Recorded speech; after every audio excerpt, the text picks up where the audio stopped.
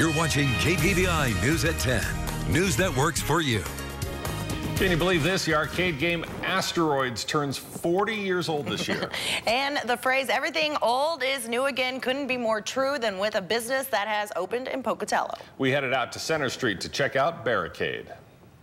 Matt Davenport out here in Pocatello, the site of Barricade with Tera and Bronson. Thank you so much for joining us and letting us come out. This is kind of unique. Tell us a little bit about this business Barricade.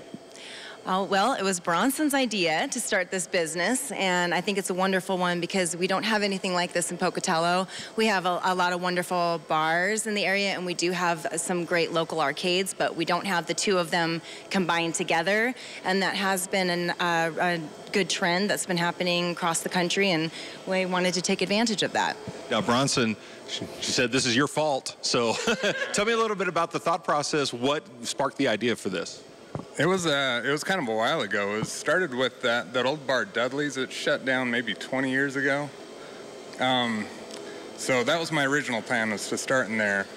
Um, but it, it, was kind of a pipe dream. I thought first I'll win the lottery, then I'll do this. So it didn't didn't pan out like that. Okay. Um, then just kind of life went on, and I, I just started like saving up money, mostly for retirement, and then uh, then I realized I looked at it and realized I could probably make this possible. So. And, and so you guys opened up this business and it combines classic retro that, you know, growing up in the arcade, which I'm very, very familiar with, with something for uh, the 21 and up crowd. So tell me how that has been working out for you. It's been great so far, and one thing I want to let people know is that we have a, uh, we have a nice wine selection, and we plan on expanding on that. Uh, I bought one of those wine dispensers where you that they used to have at the tasting room and at Marigold's, uh, so we'll be able to have some, in, excuse me, a variety of wines, upscale and, and medium variety. So I'd like to. I know that the wine scene is growing in Pocatello, and we'd like to become part of that. And, and we also have some good craft beers, and we'd like to expand on that too once we learn our demographic. Very nice. Now, Bronson, I'm looking at some of these arcade. How did you find these? Oh, uh, multiple sources. Uh, I started out, my first game was actually Asteroids, and that's why, well, that's like a huge amount of my branding. You'll see like all the, all the barricade signs, they're branded all around Asteroids. Um, as I went on, I, um, I got I got kind of sources from this first person that I bought the games from, and he directed me in the right direction to go as far as um, the right sources. Um, so I bought a lot of these and just bulk bulk lot. I mean, probably like 11 or 12 games, and most of them weren't working. Um, so I've spent the past year, I mean, just going through one by one, bringing them into my garage, repairing them, and then putting them back in my storage. For people who want to find you, when are you open? When are your hours? We're um, three to midnight, Tuesday through Saturday for now. Um, we're gonna we're gonna go with that schedule for a little bit and just see how it goes. Very cool. So you have wine, beers, and bugs. And when I'm talking bugs, I'm talking centipede because I'm eyeing that centipede machine over there. Now, we're going to have Marlise and Doug join us here in just a few minutes. We're going to do a little friendly competition. If you know anything about the three of us, you know it's nothing friendly about it. We'll be right back. All right. Okay, well, we've showed you what Barricade is all about. Now it's time to put up or shut up as we find out who is the king or queen of arcade. That's next. You're watching KPVI News at 10. News that works for you. So a few minutes ago, we showed you what Barricade is all about. And now it's time to put our arcade skills to the test. Take a look. All right, back here at Barcade in Pocatello, and look who showed up, Marlise. Hi. oh, man. Uh, who's up for a little friendly retro arcade competition?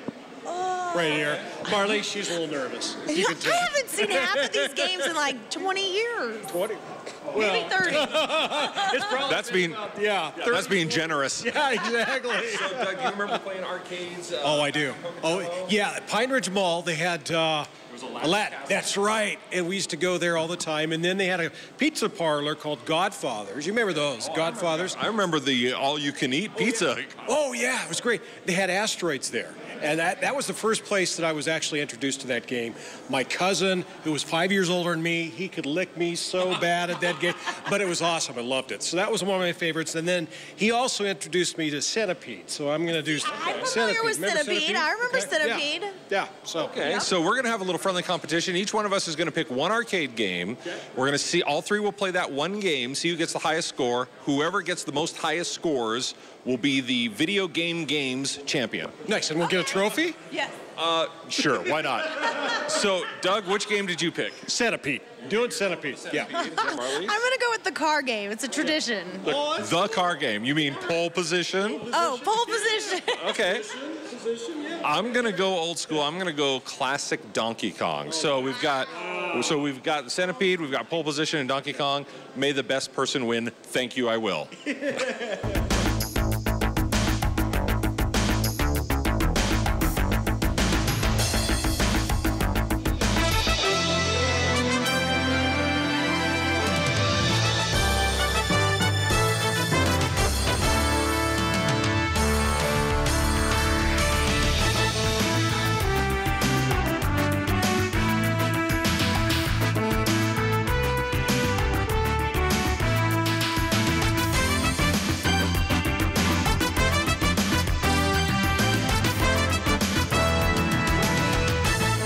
So just by watching the video, who do you think won?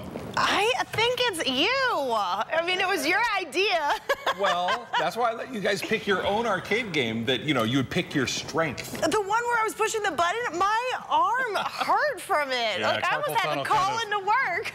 Yeah, an old arcade injury kind of re-aggravated Oh, that. wow. Well, the results may surprise you. Okay. We'll find out those results coming up. Okay, so the three of us played those arcade games to see who could become king or queen of the arcade. Right. Doug, you chose Centipede. All three of us played Centipede. Yep. So let's see that score there. So for Centipede, Marlies, Oh, good, oh, good. 9,000. nice. Matt, 11,000. Doug, 6,000. This was your game that you chose. I know. I thought for sure I had this one licked. I was like, So- Marlise, she doesn't even know what that word means. I, so- did not. And Marlies, you chose that car game called The Pole car Position. game. And here's the scores. You did pretty good. Uh, it was a close. Oh, I close beat you? Yeah. between Marlies and Doug. Uh, Once again, first place, yeah, Matt at 19,000. Okay, whatever.